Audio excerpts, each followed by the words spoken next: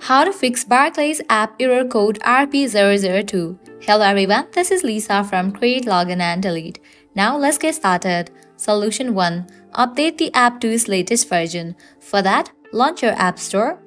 Now at the top you will see the search box. Over there type in the app name, Barclays and search for it.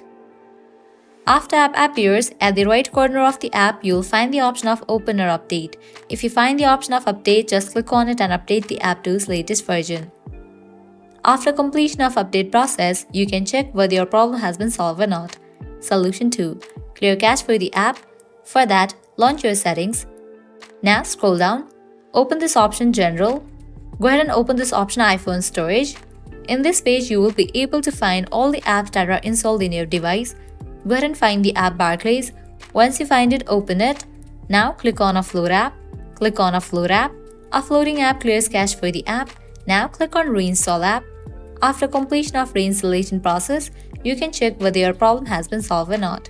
If you still encounter the issue, you can apply solution 3. That is you have to completely delete this app from your device and reinstall it. So go ahead and click on the option of delete app, click on delete app, with that, this app will be deleted from your device. Once completion of deletion, closes, launch your app store, search for the app, once app appears, install it. By applying these solutions, your problem will be fixed. So this is how you can fix Barclays app error code RP002.